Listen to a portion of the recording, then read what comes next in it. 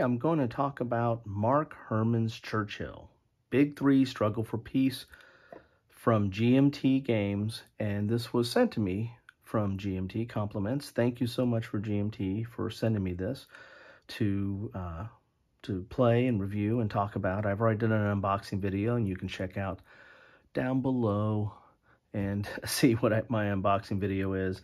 But this right here, I just got done playing uh, the training scenario. I've played this a few times inside. I'd, I'd want to do the training scenario again um, and share my thoughts after playing it. Um, I played this solo, so I wanted to share my thoughts of both the game, the gameplay, the game components, um, and generally what I think about this. So let, us start with the components and, and, let's start with the rules. The rules are really not that complex. Uh, if you've if you played Mark Herman's Pericles, then this is easier than that. I find this would be a little bit lighter weight than Pericles. To me, Pericles is, has a similar setup. There's a political side and a military side, but the military side, both are in Pericles, in my opinion, are a little bit more involved. The political is a little bit more involved, and the the war, you know, how things transfer from the political side in in, in the in the um, manner of orders.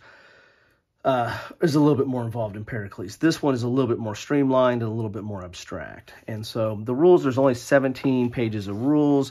You know, there's some notes. Uh, there's the scenarios.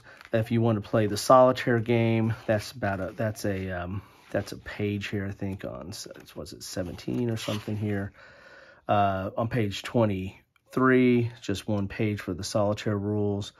There's the secret agenda variant. That one really is, I would say, for multiplayer, and that's where you take, you know, some of these counters here, and there's secret variants, and each side gets three, and you get um, uh, five points each if you control that region. You know, that's the kind of the political, you know, the the political and the uh, clandestine side of the the game. Uh, so really only looking at about 17 pages of rules. It's dual column. It's legible. There's designer notes. There's play notes.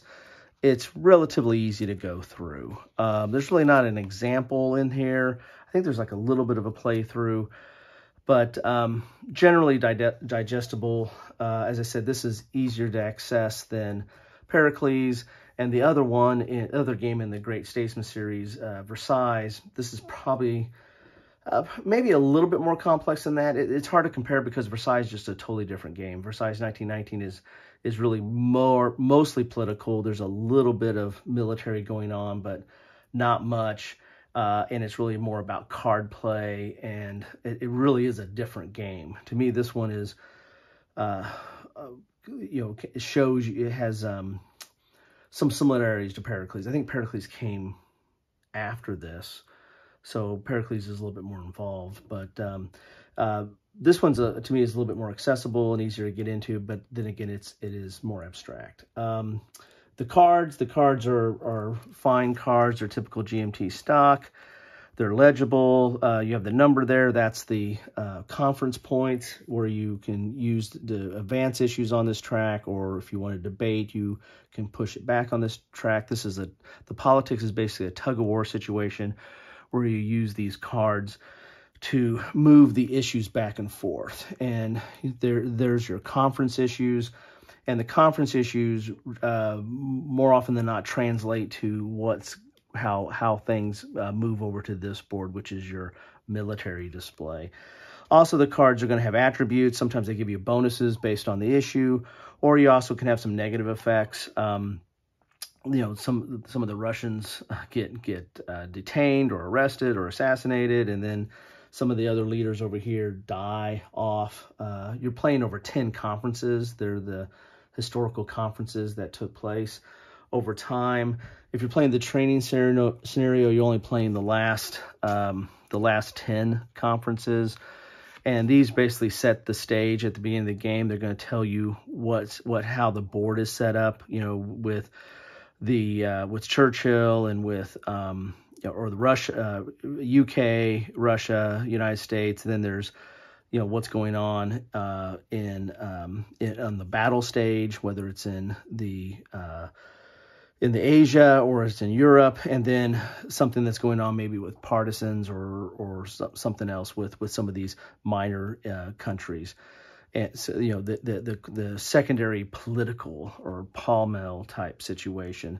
So those set the stage, and then you're into the political, which is you're using um, your you're basically these cards to move issues back and forth. And then, of course, your leaders are going to kind of trump the day. They're the, the biggest number, and they uh, can move issues um, a, lot more effectively. But, but you know, once you use them, they become inactive, and then other cards play off of that, whether they're inactive or not. So the cards, you know, good stock. Counters are typical uh, GMT counters. They're all pre-rounded. They punch out easy. They're good, thick stock. Uh, the counters are fine. There's not a lot of counters in this game. Uh, a lot of the counters you use are these uh, uh, offensive support that that translate from your production over to offensive support over here and help you get die rolls as you're advancing the front. Um, then you have the blocks, which are this. These are basically the front. These are really just markers, and then these are uh, leadership or command markers for the different theaters. Then you have your political markers, and then you have like these tiddlywinks, which are uh, translucent in the color of the three different nations. And those are uh, clandestine markers that help you, uh, you know, determine control of these uh, colonies and countries for uh, victory points. Um, you also have some of these markers as well um, to help mark the global effects. I'll explain that in a second, but this also are marked on the, the atomic research track. The Russians are trying to steal the uh, research plans. The Americans or the U.S. are trying to advance it to get the bomb. And uh, that's one of the conference issues here and that that will play into not only victory points, but also it's a but what there's like three conditions for Japan to surrender, and that's one of them. Uh, Germany surrendering, having that, and then having uh, Russia be advanced to at least Man Manchuria, then Japan will automatically surrender without having to take it over. So um, so that's your components. Um, oh, and then you, of course you've got the military forces, which are just cubes for the Germans, the Japanese, and then the gray are both either the German Navy or the Japanese Navy. And then, of course, you have some uh, brown here or, or the Italians. In the training scenario, you don't use the German Navy or the uh, Italian Army because it's it's so advanced in the war that they are no longer a factor. So, um, so the components are fine. Um, then you got some player aids here. You get three of these, which are, are, are nice in that they give you the sequence of play. They give you the victory point schedule. And then the rest of it really is the bots. So if you're playing, uh, if you're, let's say, the Russians and playing against the, the United States or the, um, and or the UK, then this is the, deci the decisions for the bots. You know, there's this is the the uh, conference side. You know, there's going to determine the agenda and determine the meeting, and then it goes into the clandestine networks and political. That's these uh, colonies and countries, and then you get to the military segment, which basically it's kind of built in that you have to advance on the track. There's some limitations, but main, mainly you have to advance on the front each turn. So that's going to always kind of continue going. But you have bots for each one of the three countries. This is a what they say, and there's a zero to three player game, so you can just play the bots and have the bots do do all the heavy lifting, and you're just kind of moving stuff around. Um, or you can play against two bots, or you can play two people against one bot, however you want to play the game. Uh, it's not a complete uh, automated AI.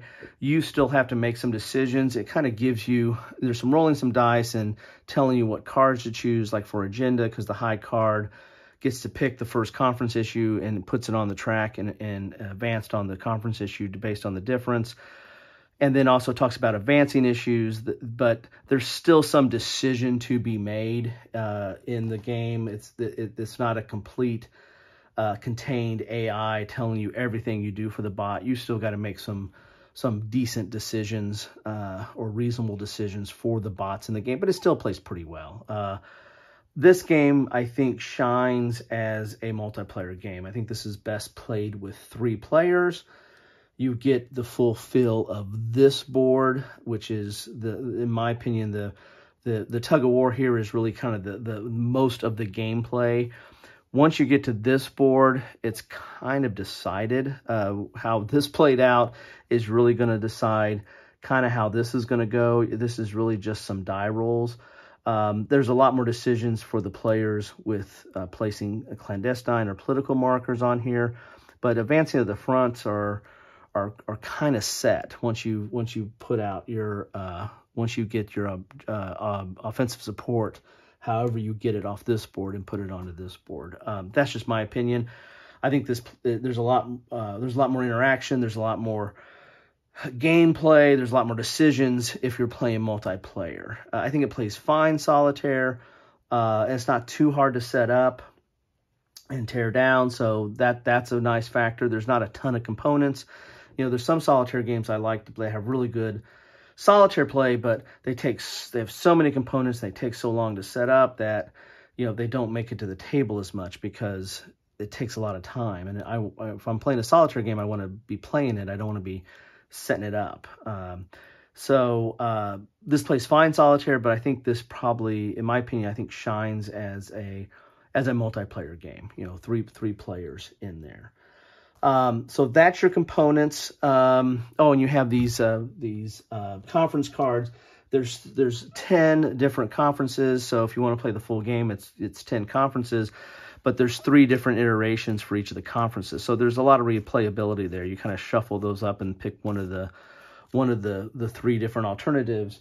So as you play the game, um, you can play it multiple times and it's going to play a little bit different because the conferences are going to play different. Plus, you know, your, your 21 leaders, you're going to shuffle those and you draw seven a turn and then you reshuffle on odd turns. Um, so that that's going to change up. And then, of course, you know, the bots are going to do something different. Or if you're playing against a human player, of course, they do things different. So there's quite a bit. There, this is definitely not a a solved puzzle. There's there's a lot of gameplay in this game. So let's talk a little bit about gameplay. So the the goal of the game is to the AI is really German and Japan, Germany and Japan. Uh, of course, if you're playing against the bots, then then the other allied powers are going to be are, are going to be kind of somewhat AI did well or or or, or controlled by the bot eh, or have some of the decisions made by the bot as well.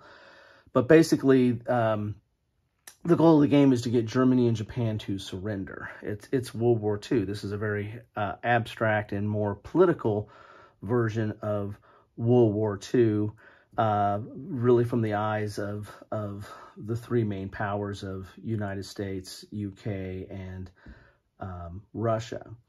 So that is your goal: is to get these to surrender on this uh, board but most of the activity takes on place on this board. And as I said, the first thing you do on your turn, you're going to turn over whatever conference is and read over what it does. It will set the stage. It will do things on on the, on both boards actually, and kind of set the stage.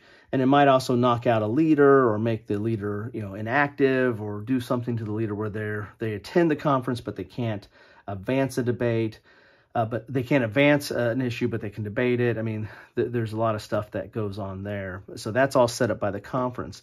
Then once you're over here, you're going to have your hand of seven cards, which are your different statesmen, and you're going to make a decision on uh, setting the agenda. The first thing you do is set the agenda, and you're going to pick one of these, and you're not going to ignore anything else on the card, and you're just going to use it for its number.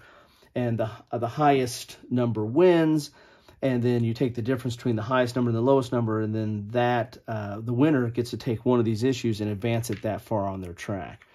Then the game starts. You're going to be basically um, picking issues and debating. You know, well then after after that first issue is decided, then you go around a couple of times till everybody picks two issues, conference issues, and they'll be put in the middle here. Then the game starts in earnest. You're going to be taking your cards and you know, like say the Russians go, then they can play this guy and move an issue uh, three, you know, from the center.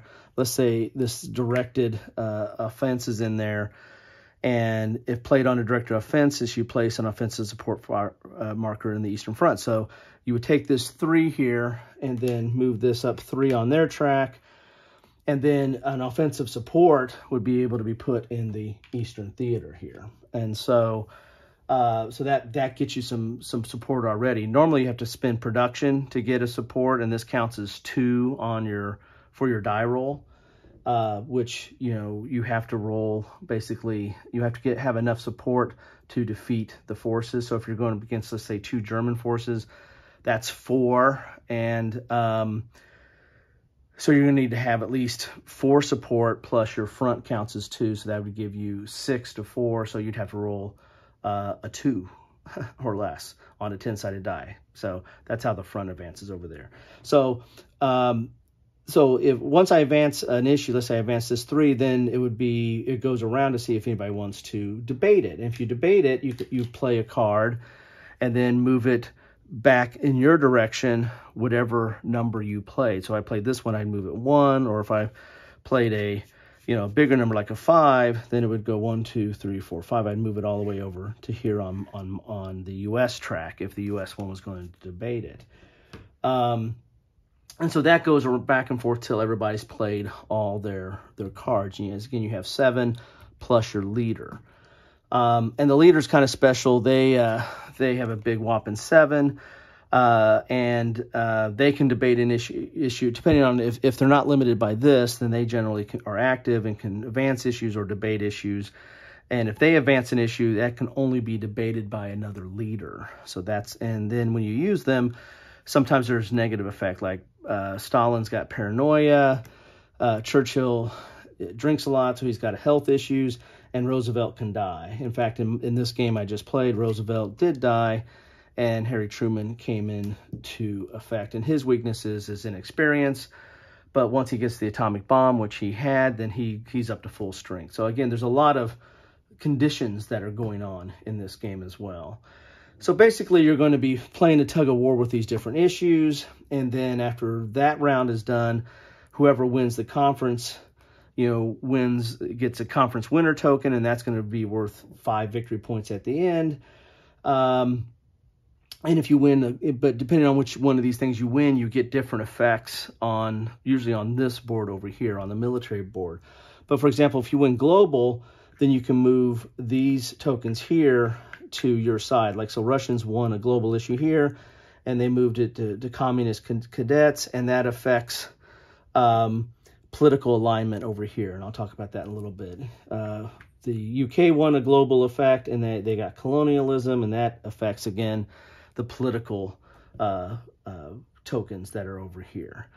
A lot of these other tokens are dealing with production. Uh, the British have, uh, UK has four, U USR has three, and the United States has six.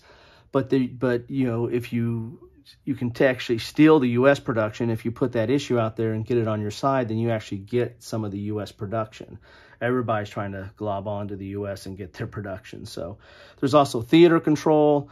Uh, if you are control the theater, you're automatically going to get either a naval support or an offensive support on, on one of the theaters. That's very helpful. Um, you need naval support to do amphibious invasions. Every time you see a little anchor there, that's an amphibious, so you need a certain amount of naval support. Usually it's three, but like Normandy, it's it's I think it's five. Um, so there's a lot of stuff going on here that translate over to here. Uh, and the, the, really the two major things that translate over to here, one are the support, right? You're trying to get these offensive support tokens to help your die roll to advance the fronts. Uh, the second thing is the uh, the Pol-Mil or the Pall military, political military situation. Um, let's talk about the uh, offensive support first. So every turn you're going to try to advance, and depending on what you're facing, so like if if if you were facing trying to advance this British track here, and there was two um, Japanese there, this counts as two. Each one of those counts as two. So you're not you're going to fail because you're, you're you're going to roll. You're at minus two on a ten sided dice. But if you let's say you had one, two, three support there. So you had three times two, two is six, plus two is eight. Eight, uh, take out four there. So now you have to roll a four. So you have to roll a four or lower on this dice. Three, got it. So you would advance on that track. Uh, if you're trying to advance on a amphibious, then you have to have at least three naval support as well as the, the, the, the numbers or the factors that I just went over. Um, the United States on the in Asia, uh, United States have the two tracks that they advance on. Uh, Brit UK has one, and Russia has one. In Europe, uh, U.S. has one, the Western Theater, the UK has the Mediterranean Theater, and the um, Russia has the Eastern Theater. Plus, there's an Arctic Theater, which is kind of handled a little bit differently and that that's a lot how you base that's how you win the game is by advancing and getting to Japan but you also have victory points along the way. If you hit some of these uh, targets here you're going to get uh, the victory points that are listed for whatever unit that is. And sometimes like if you the United States advances here they're not getting the victory points. It's UK USSR gets the victory points. So there, there are some different things on the track of, of who gets things as you advance uh, and again, so a lot of what you're trying to do is get support and production to um, build up the war effort over here. The other side game that's going on, but really adds up to a lot of victory points, are these countries and colonies. And so there are these certain things like uh, these these objectives or these conference issues where you get one um, political marker and three clandestine markers. And again, the clandestine markers are these translucent kind of tiddlywinks, and then the political markers are these, you know, these round uh, cubes here. And so what you're trying to do there is if you win those, you're able to uh, place those on the board. And you basically, it's a situation you have to, you kind of place the clandestine first you can have up to two clandestine in one of these boxes that are countries or colonies. And then you can place uh, one of your political on there if you already have a, a, clandestine there, and you can only have one per area. Now, the, the clandestine uh, are going to be worth one uh, victory point per, per country or colony, and these political activations are going to be worth three victory points. So that really adds up a lot of victory point. So there's kind of this political struggle that's going on amongst the three powers of, of you're basically kind of preparing for the end of the war, right? I mean, you're trying to carve up the world once uh, Japan and Germany are knocked out and where is your influence going to be? Where is your political influence is going to be? And you have to have some clandestine forces there first, then to establish your political influences. So there's a whole kind of separate game on there. So the bulk of this board here is to get offensive support or or direct offensive support. You know, you can tell the United States, hey, you you have to give some support to this one area, uh, and that might not be what they want to do, but hey, they could have won it in the conference here. Or you're trying to get these uh, Pol-Mils where you're trying to get clandestine and political activation because it, it all at the end of the game, you know, it's all going to add up to victory points. Um, so that's basically kind of an overview of the components and the gameplay. Uh, in this game, uh, uh, the United States ended up prevailing. I was playing the United States, um, and uh, it was pretty close though. The the UK uh, had a really strong last round, um, and Russia just really couldn't get off off very well. Uh, and from a historical standpoint, Roosevelt died at, at, at the last conference. Uh, and then this guy died of health, and this guy uh, was killed in an ambush. So, you know, there's a lot of stuff historically that that can happen in this game. So when when somebody dies or killed or arrested, they're, they're, the cards are moved from the game, and you don't get it anymore. And as I said, on odd number turns, you're reshuffling stuff back up. So um, the, the, these cards are recycled. You know, the the leaders cards are are the uh, your statesman cards are going to be recycled uh, during during the game. Um, so the United States really did it. Uh, UK got a lot of their points by these colonies and countries, as you can see here with the political activation. went really strong on uh, Pacific Theater, but they, they really didn't advance much on this track, and they were too far away of getting any real victory points. The United States really gobbled up some victory points on uh, on this track, uh, and of course, you know, getting into Japan and getting into Germany was uh, that's eight points each, so that was that that was the difference in the game right there. If you look at the look at the board over there, that that really did it getting the A-bomb. That actually benefits both the UK and the United States. Uh, and we had the conditions for Japan to surrender, but um, it uh, this just happened the same turn, and that uh, and so the United States was able to get in there anyway.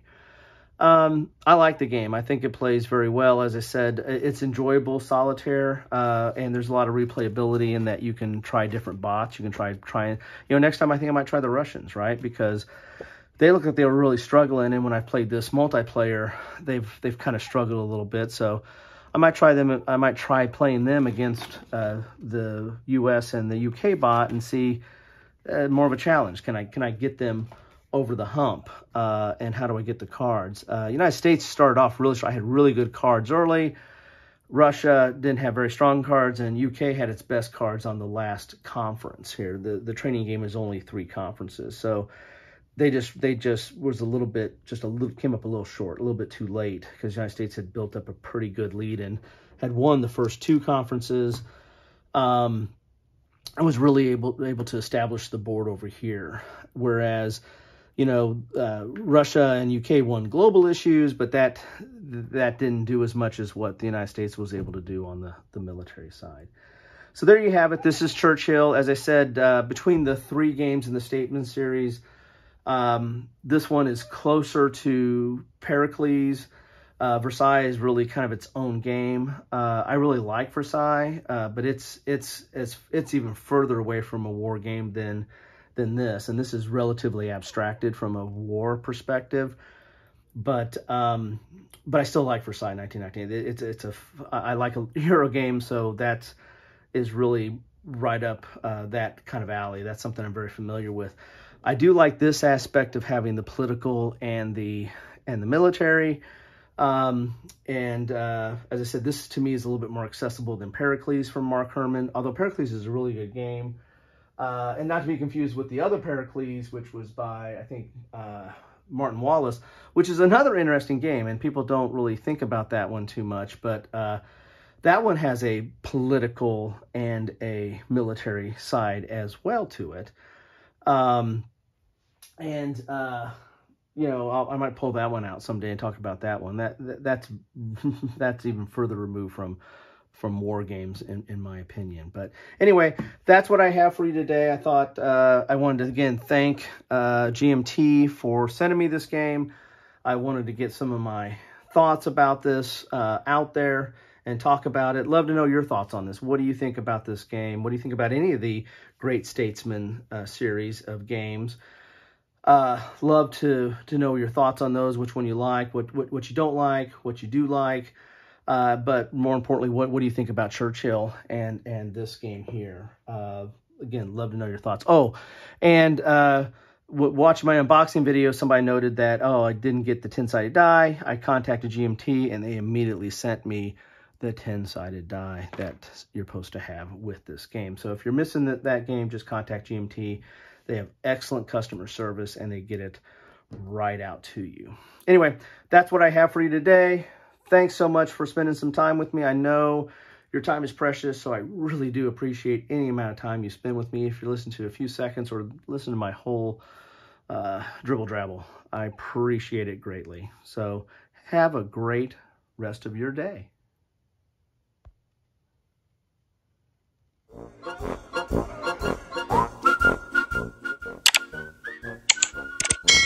Thanks for watching.